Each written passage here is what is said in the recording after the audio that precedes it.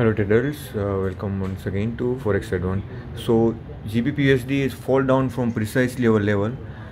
This is our uh, research room and uh, there are more than 700 screens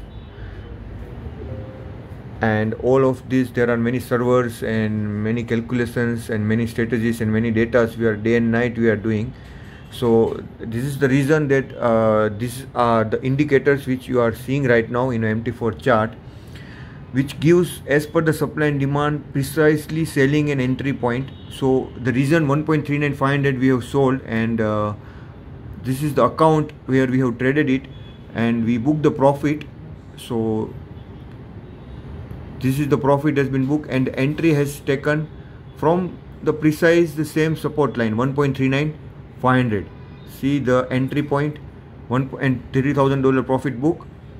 This is the same entry point in the chart where 1.39 500 is a selling zone has generated and we sold from that precise level and it fall down. More than around currently the 90 pips gain from precise level level if you have followed. And this level we have updated 24 hours before in our free telegram ch channel even. And we have traded with the same into our trading account access is again open with the investor id and password. Can be accessible into the telegram channel. So and currently the all the profit and loss is open.